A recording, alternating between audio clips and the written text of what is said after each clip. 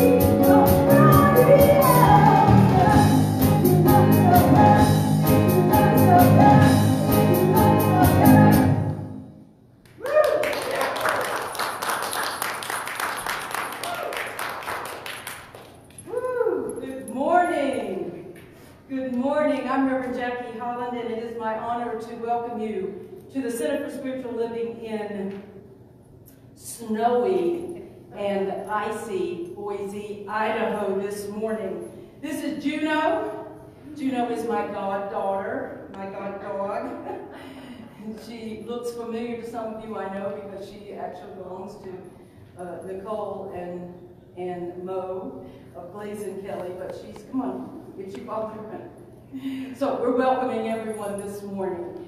Oh, and we are so beautifully supported. You've already heard the voice of the singing Valentine of the CSL Boise, Miss Lisa Biddick. Yes. Is supported, loved, directed, and guided by our magnificent musical director, Mr. Rex Miller. Let's give Rex a hand. Keeping the beat for us every Sunday is limping along because of a tennis problem, a tennis injury, Mr. Phil Bowden. And holding the low uh, notice for us, of course, is Mr. Ted McClure. I want you to know, yes, give them all. And behind the camera this morning and also running technology with Phil is uh, Cheryl Houdon and we've got Miss JJ uh, Bullock, our, our president and Valentine, who is on the front door helping people get in and helping people stay safe. So thank you. Thank you for joining us. I want to tell you that yesterday, when we saw how um, bad the uh, snow and ice might be, I called Rex and I said, Rex, please let these musicians know that they don't have to come in tomorrow. We'll just throw up a, a, a, a, previous video or something. And I just want to, from my heart, say thank you to our volunteers who are here this morning. And thank you most of all, always, to our great musicians. So let's just give them and speaking of beauty, this morning we are bringing forth our spiritual practices and our prayer through our beloved Miss Whitman. Yes, yes, Miss Whitman. So please come on up here. Uh, let's just take a moment and turn within.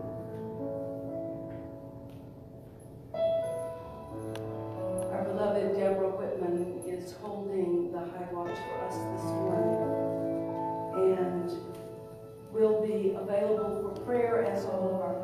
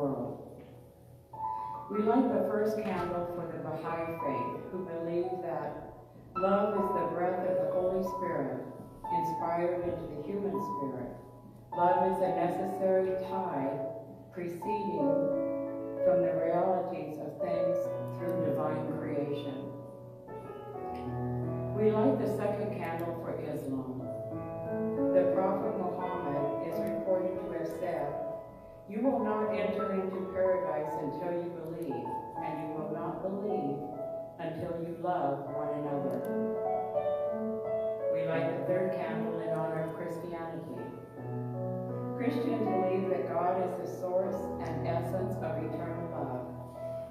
Whoever does not love does not know God, because God is love. We light the fourth candle for Judaism. The Hebrew, the Hebrew words for love are sometimes rendered in English as loving kindness or steadfast love. The fifth and final candle honors new thought.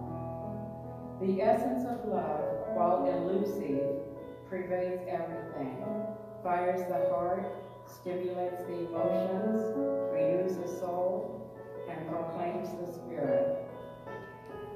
So now let us quiet our minds and open our hearts to the message being sung by Lisa Petty.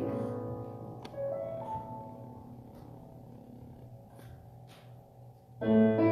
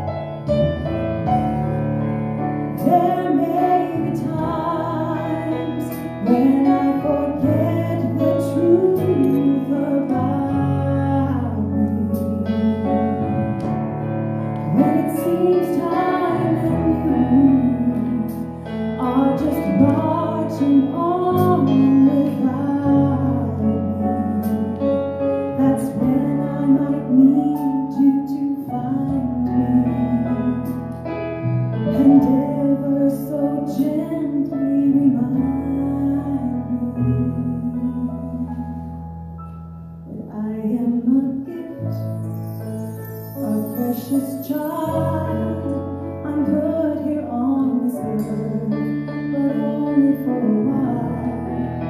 So I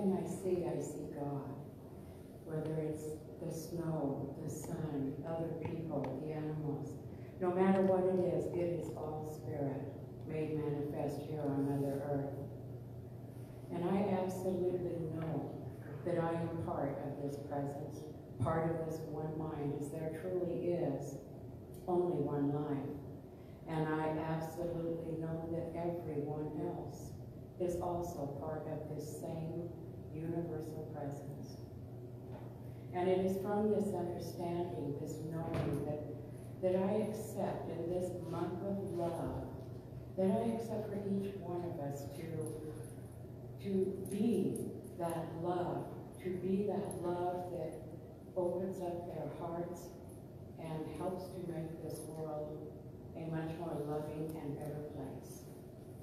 And I, with a grateful heart, am so thankful for all of these volunteers this morning who is, who is giving of their time and their talents to make this service so beautiful. As Lisa sang, we are a gift. We truly are a gift. And I absolutely believe Reverend Jackie Holland is a gift to all of us. As she steps aside, as she presents a message, each one of us is ready to hear. So from this place, again, of a grateful heart, I just release it into the law. I let it go, and I let God do God's work in every fashion. And I say, Namaste, Om, Shanti, Ashe, Amen, Aho, and so it is. And now, once again, let's welcome the beautiful Lisa Betty.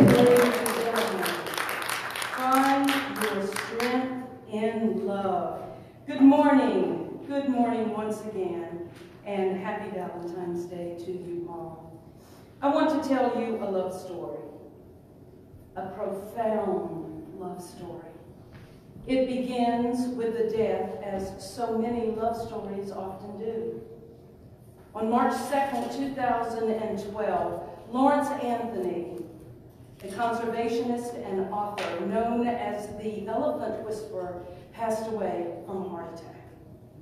After his death, although they were not alerted to the event, a group of wild elephants Anthony had helped to rescue and rehabilitate traveled to his house in the South African province of KwaZulu-Natal.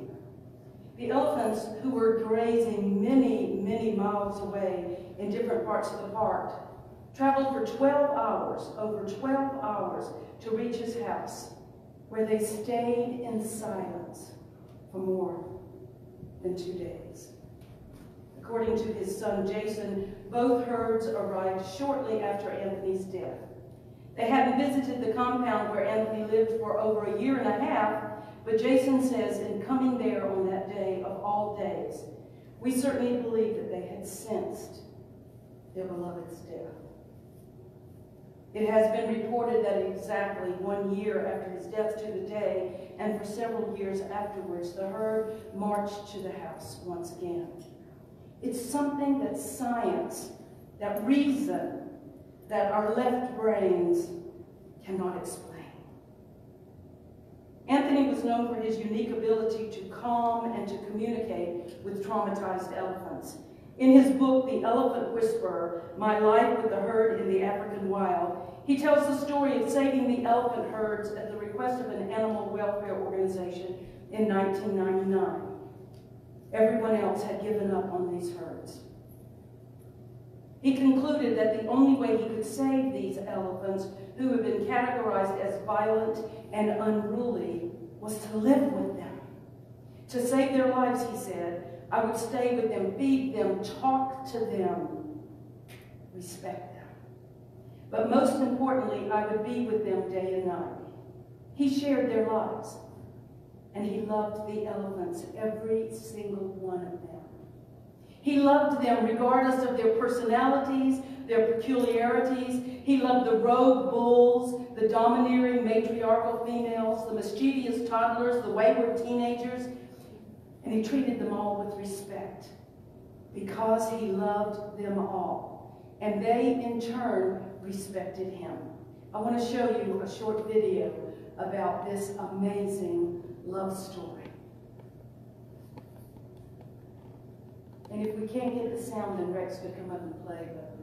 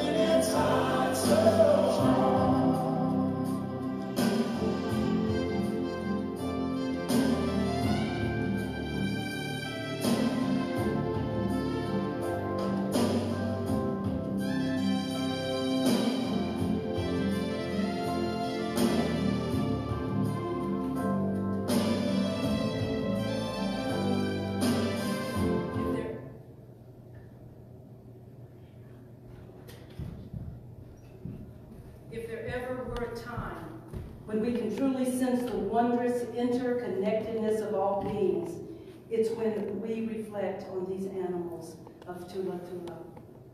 A man, a man's heart stops, and hundreds of elephant hearts are grieving. This man's oh so abundantly loving heart offered healing to these elephants, and now they come and pay loving homage to their friend. The horse, the, the elephant whisperer showed us that when we come together, animals or humans, our hearts open a gateway to our own healing, to our world's healing, to all healing. That when we take one step towards love, love takes a thousand steps towards us. When we take one step towards love, love will take a thousand steps towards us.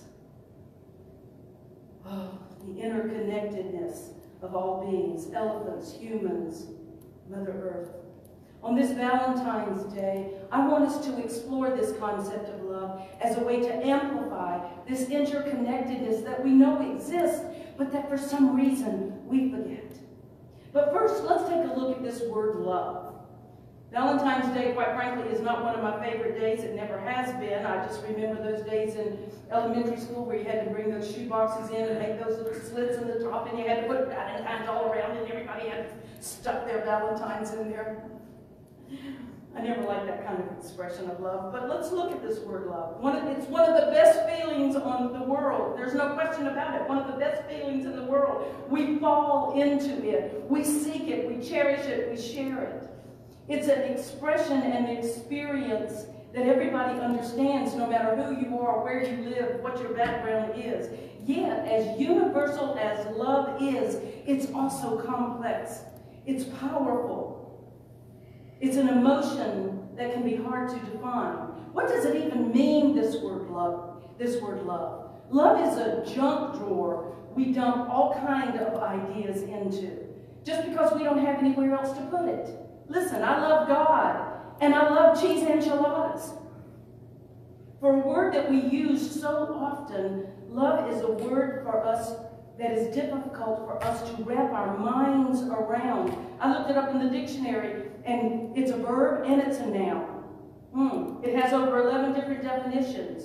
Love has to do with God. It has to do with sex. It has to do with romance. It has to do with pets and babies.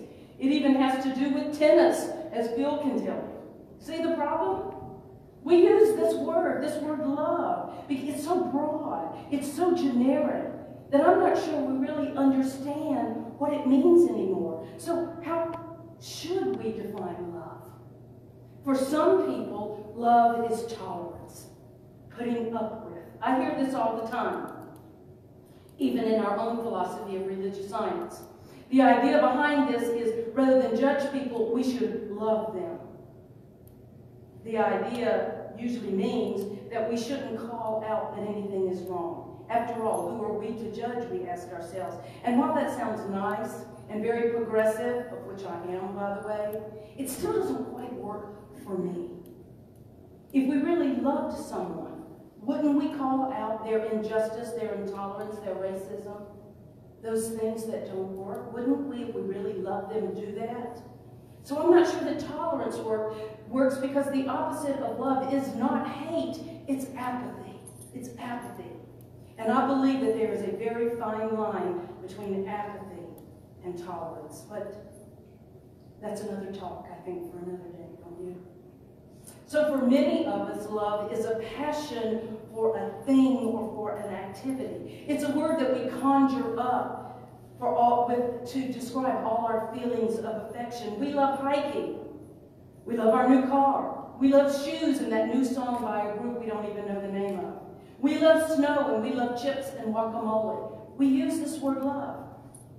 When we, when we aim this word love at people, we usually mean the exact same thing. When we love somebody, we mean we have a deep feeling of affection for them because they make us feel alive or young or sexual or happy or whatever they make us feel. Love, by this definition, is pure, unfiltered emotion. And your love is passive. Your role in this kind of love is passive. It's passive. Think of the phrase fall in love. Ah, I want to fall in love. It's like tripping over a rock or a curb. And falling in love is fantastic. But there's a dark underbelly to this emotion, to this feeling. Because listen, if you can fall into it, you can fall out of it. So that's not really love, is it? Not the way we want to think of love, as something that never ends, that you can't fall out of. We have a pretty limited vocabulary for love here in, uh, in our English language, at least compared to the Greeks. Yeah, we've got affection, we've got fondness, we've got attraction, but they all kind, kind of sound very vague and pale compared to those Greek words like eros, philia, and agape. Those Greek words that we like to throw around once a year on Valentine's Day. So what is love? How do we love? Frankly, I'm still looking for that formula. you find it, let me know, would you? In the Sermon of the Mount, in the Sermon on the Mount, the master teacher and rabbi, Jesus, spoke of agape love, the Greek word agape. Agape love, when he said, You have heard that it was said, You shall love your neighbor and hate your enemy. But I say to you, love your enemy and pray for those who persecute you. Lawrence Anthony loved all those elephants, the mean ones the sick ones, the old ones, the ornery ones, the ones that attacked him, that matriarchal elephant that finally broke down with love. Are we any less called upon to love people? Any less than this man modeled for us with huge animals like elephants? Jesus, the master teacher, went on to say this, if you love those who love you, what reward will you have? Do not even the tax collectors do the same thing? I think tax collectors were not well thought of in Jesus' days or in ours, by the way. And if you salute only your brethren, he said, what more are you what more are you doing than the others? Do not the Gentiles do the same? You therefore must be perfect. He means perfect in love as your heavenly Father is perfect. Now, many, many biblical scholars have argued that the word perfect in this, in this verse, Matthew 5 48, is an incorrect translation. What the original text in Greek actually means is this You must love impartially, as the creator of all life loves impartially, as God also loves impartially. That is, when we love others with agape love we show love without any partiality. To love unconditionally, we can't choose who we want to love and who we don't want to love. We can't pick and choose. Agape love is impartial, almost impersonal in the way that we usually think of love. We're commanded to love everyone. And I think that the elephant whisperer gave us the secret to this. He said, I had to live with them. To live with them. We're not talking about moving into somebody's house, but we're talking about walking in their shoes, living with them, understanding them, communicating with them. That is agape love. We can clearly understand this agape love when we think about animals. Most people love all animals with impartiality, even the mean or the sick or the ornery ones. Some people love animals a lot more than they do, they do people. I myself have been accused of that many times. In like manner, animal, dog, animal, many animals, especially dogs, love with agape love. They love impartially. They love completely. They love unconditional. Dogs are called humanity's best friend for a reason. As we know, Dog is God spelled backwards. So yes, you want to learn how to love unconditionally. Look at your dog. Look at Juno. Where's Juno? Look at Juno loving unconditionally. Stop. Teaches us. Now listen, I also happen to think that not all dogs do love everybody impartially. They rarely forget anybody that's mistreated them. That's kind of a, given in S for cats. Many, if not all cats, will rarely deign to show you love, but honestly, those cats are more like dogs, I think. Like my son Reeves' cats. Yeah, they, they love their dog, they love, I think. Of course, that's just my humble opinion. If we're completely honest with ourselves, we've got to admit that almost all of us love people with some partiality. We love those who love us back in the same way that we love them. We love those who are cute or cuddly or small or tiny or babies.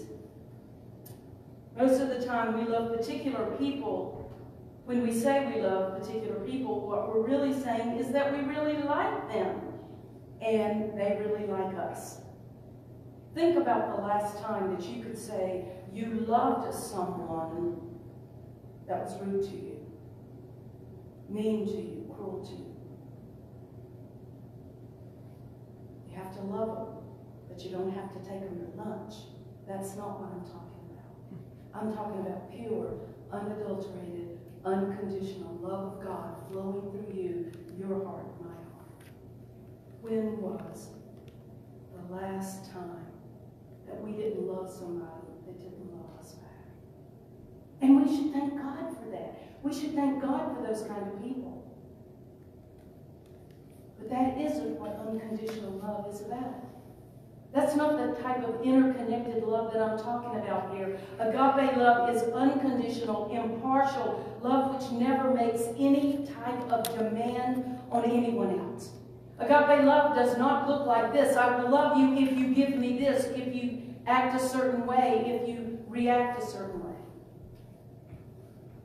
Agape love is offered without the expectation of anything in return. For this reason, Jesus told us to love our enemies and pray for those who persecute us. And what Paul said, love is patient and kind. It is not arrogant or boastful. It does not insist on its own way. It bears all things, believes all things, hopes all things, endures all things. Are we doing okay, sound folks? Are we okay? When they get up and walk around, it makes me nervous. you know who loves unconditionally is this Cheryl Houdon. She just smiles at me when I, when I make statements. If we love unconditionally, like Paul said, we are enabled to do all of those things. With patience and kindness, we can bear and hope, believe, and endure everything that's going on in our world. That's because agape love is not the same as filial love or erotic love. Agape is unconditional, impartial, unexpectant love. Love with no strings attached. I'm not saying it's easy to love this way. Heck no. I can't do it. I can reach it once in a while. Feels pretty good, but no. I'm not saying it's easy. But remember this. Unconditional love is not a feeling. You're not going to get those oxytocin things in your brain that make you feel so good from unconditional love. You're going to feel good from it, but it's not an emotion. It's not a feeling. It's an attitude. Agape, unconditional love, is an action it means that we're always attempting to keep from doing harm to anybody. And to the degree that we're able to do this, to the degree we're able to watch out for everybody's best interest, we can treat them with constant respect. I know we can't always like or admire everybody in the world, of course, but we are expected to love them. Can you love without respect? This is a debate. I'm not sure we want to get into that today, but can we? In this context, it means, agape in this context means to do good to them, to treat them with decency, to respect their humanity at all times.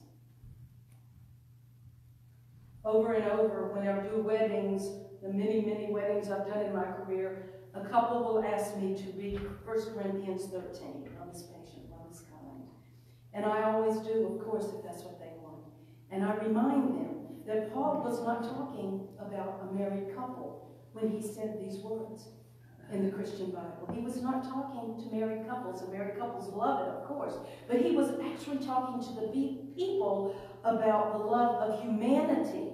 And it works for marital love, of course it does. Love is patient and kind. It doesn't require anything from the one who is loved, nor should it. It does not get bent out of joint if love is not offered in return.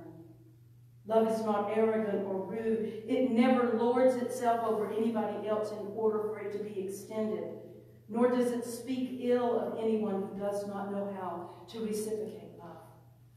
Love does not insist on its own way. It has no agenda. Impartial love is shown to everybody because it is impartial. Because we don't get to choose. We don't get to just pick and choose those to whom this love is given. Because it's unsullied, unbridled, complete, unconditional love turned into action. Agape love is the love that God had for its creation itself. In the moment that Spirit moved in an act of love and recreated itself as you and me and all people, we learned agape love. We became that love. It's God's love expressed in human terms. In human terms. It's God's love in the way that we, as human beings, can express it on planet Earth.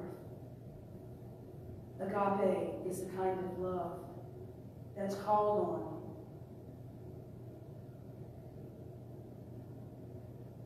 by all of us who want all undocumented immigrants to have a chance to live in this country. That's the love we have to give to those people that want them sent away. Agape love is the love that we are called on to express to those Republicans yesterday in Washington, D.C. Agape is the kind of love that you would have been required to have if you lived in Amsterdam in 1943 and you were hiding Jewish children in your attic. Agape love is the kind of love that is needed to stand up to power and to address suffering caused by economic disparity in our society and around the world. Agape love is needed to stand up and courageously speak out that genocide and racism is wrong no matter where it is. In Rwanda, in Bosnia, in Germany by the Nazis against the Jews, in Israel by the Israel government against the Palestinians, in the United States by our very own government against people of color. It is agape love that is called to turn into action. Agape love is what is needed to do something to help those people around us who are suffering, those who need access to good medical health care despite their employment or lack of, despite their income their nationality, or any other social issue. Agape love is what is called on for us to stand up and be counted in a world that is so desperate for this kind of love that is an action, not a feeling. Agape is self-giving love in action. It's risky.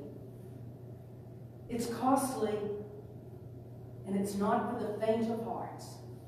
It's not for those people that think you can wrap love up in a box of chocolate hearts and a bouquet of flowers.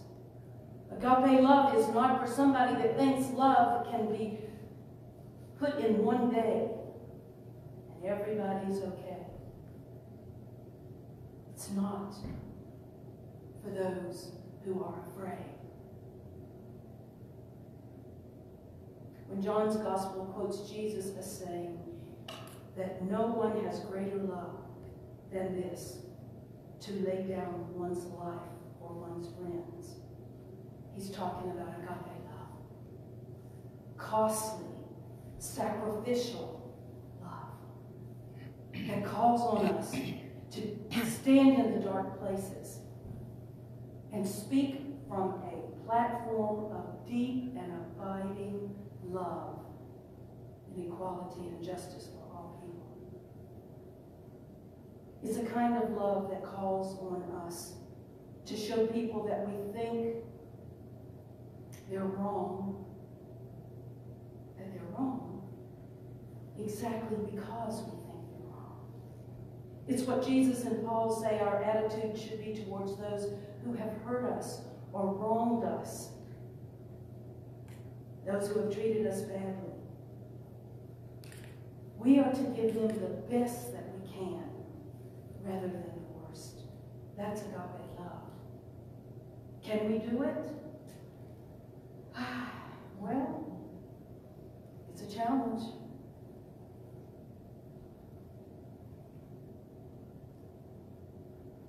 It's a kind of love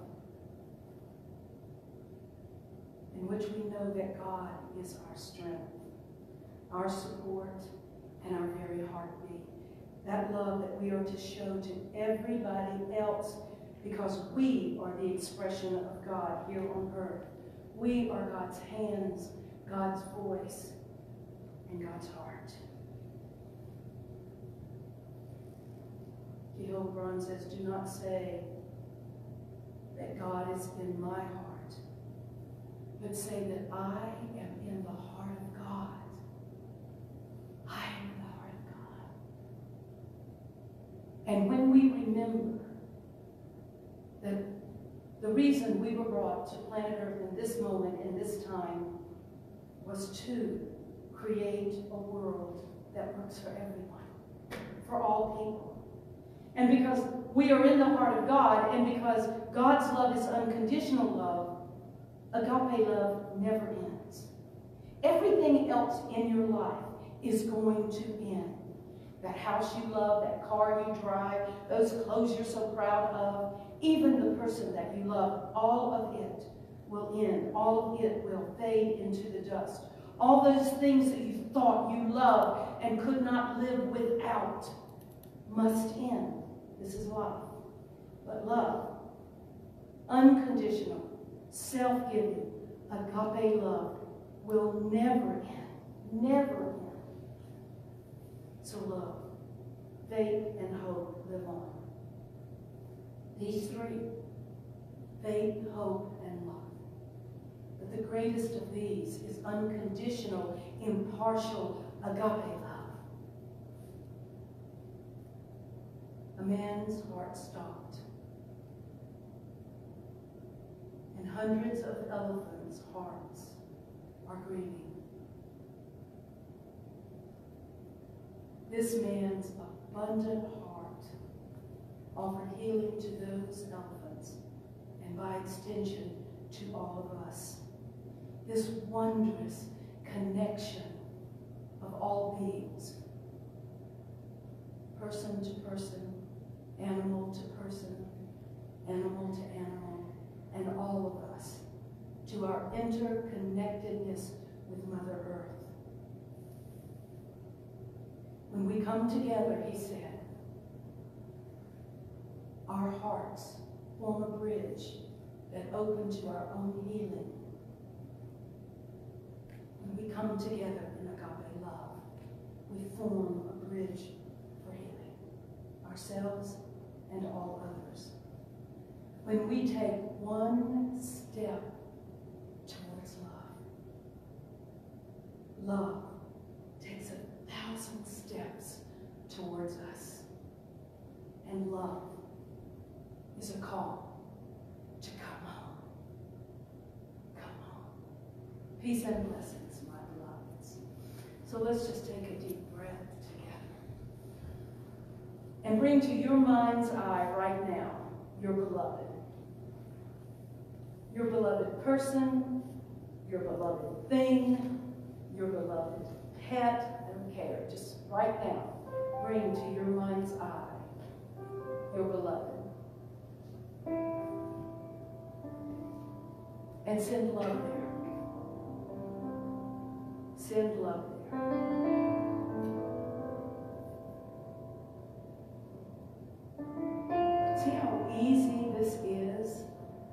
Send love to our beloved one? Take a deep, deep breath with me right now. And bring to your mind's eye someone that you are challenged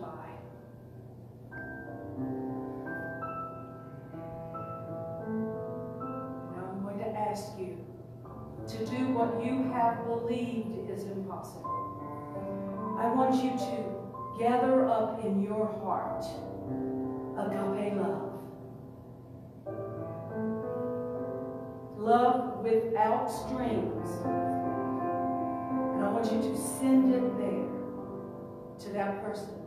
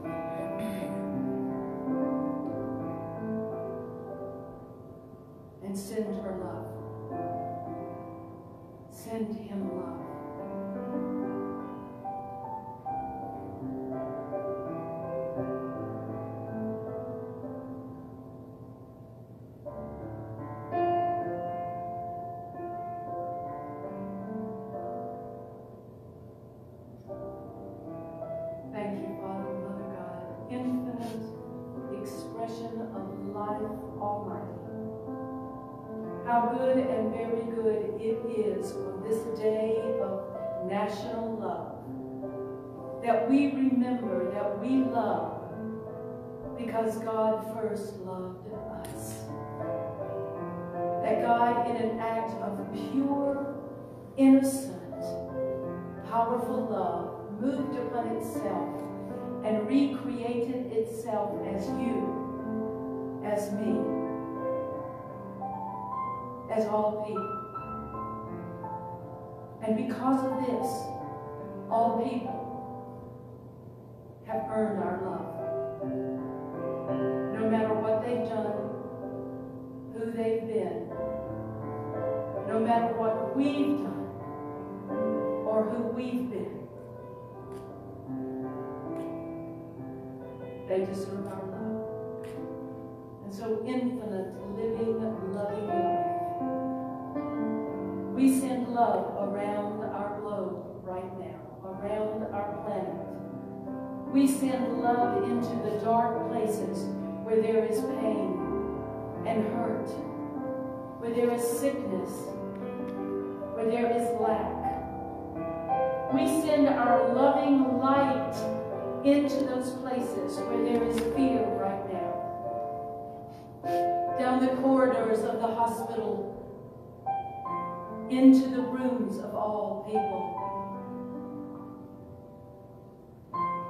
We send our love into the hearts this morning of those who are grieving the loss of their loved ones.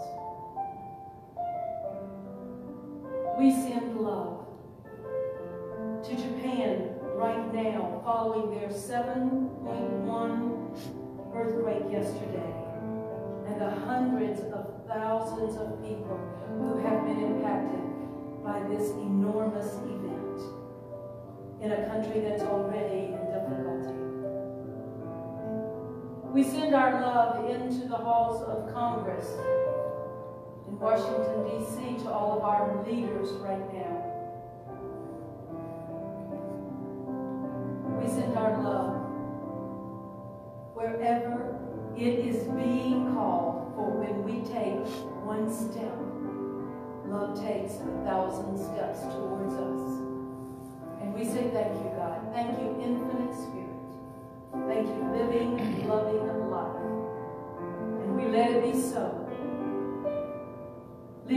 vortex of the prayer open for a moment for you just to place the prayers of your heart into it.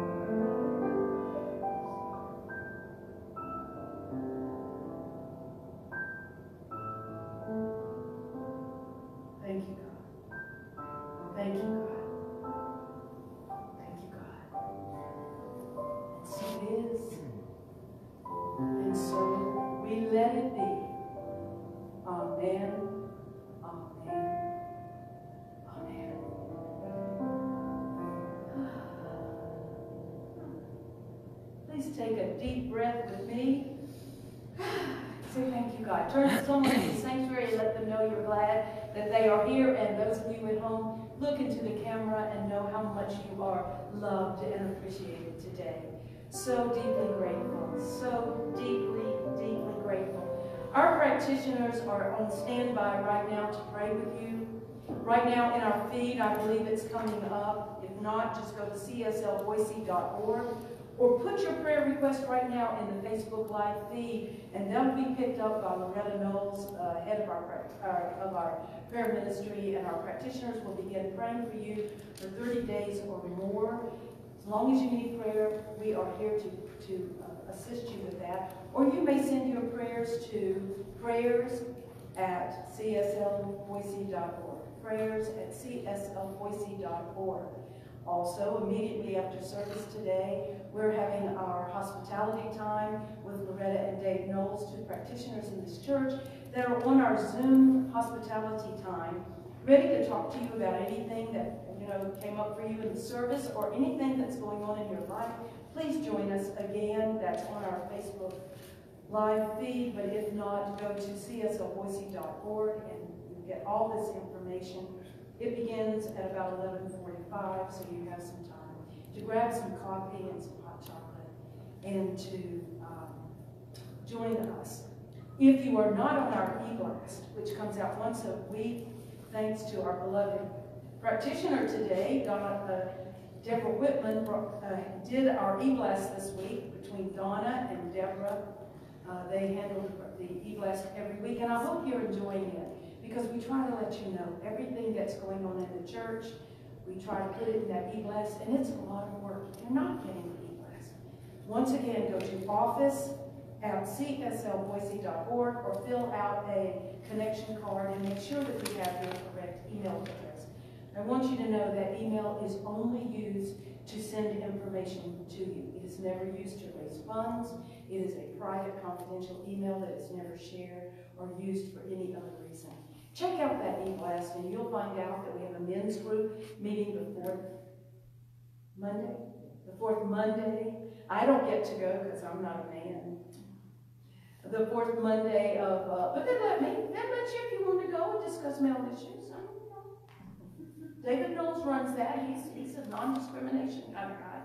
Um, our men's group meets uh, fourth uh, Monday of every uh, week. Our 12-step bridge program that connects the 12-step program and the spiritual uh, teachings of the science of mind together in this bridge program every Tuesday night on Zoom. Please check out the e-blast and you can find out so much about that. So thank you. Is there anything else I'm supposed to be saying? Except I love you and thank you so much for all that you do to help support this church in this time of pandemic and in this time of low um, attendance and so forth. We're so blessed to have you on our Facebook Live feed. Let us know that you're there by leaving a little statement or your name or where you're from. Because I know that we have so many people on that on that uh, feed, but I don't know who you are. All I see are your numbers. So once again, this is our conscious giving time, and for those of you who have given through our many, many different ways of giving, we are deeply appreciative. This is the mail that we received this week in the old-fashioned mail, through old-fashioned checks or bill pay. We even get cash occasionally in the mailbox behind the church. There are about 30 different ways to give to this church through e-giving. Please check that out through our text option, through our other ways of giving.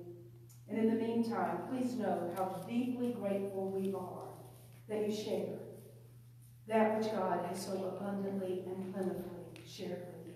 So let's just take our gift, our offering in our hands. Place your hand over your heart for those of you who are at home, just representing the love that you have for the Center for Spiritual Living of Boise, and that you know how deeply you are loved by us. And so we bless this, which we call money. But we know that it represents the flow and the circulation of life giving to itself. We say thank you, God, for this opportunity to share. Thank you for this opportunity to love. Thank you for this opportunity to be.